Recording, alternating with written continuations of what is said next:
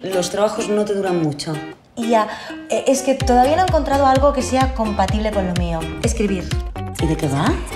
Pues es... em, Soy una impostora.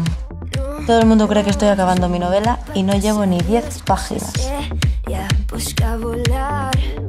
Chicas, necesito veros. 15 minutos de audios. Pero que tenemos una vida guapa. Bueno, ¿y vosotras qué? ¿Cuánto llevas sin follar? ¿Pero cómo voy a follar si solo salimos por sitios heteros? Mira, otros cada dos. Ya llevo cinco, tía, los estoy coleccionando. Es que si estás sola, estás condenada a quedarte viviendo con tus padres o a compartir piso hasta los 40. Basta, a ver, te voy a sacar de fiesta. ¿Te acuerdas de mi amigo Víctor? ¿Y tú eres? Valeria. ¿Te puedo dar un consejo? El sexo es lo que más vende. Tienes que escribir una novela erótica sobre la vida sexual infeliz que tienes. ¿Qué haces mañana? ¡Que está casada! Pareja, que vais a hacer seis años dentro de nada, ¿no? ¿Vais a hacer algo? Sí. Estoy cansado de que nunca te salga nada bien. Dime una cosa, Valeria.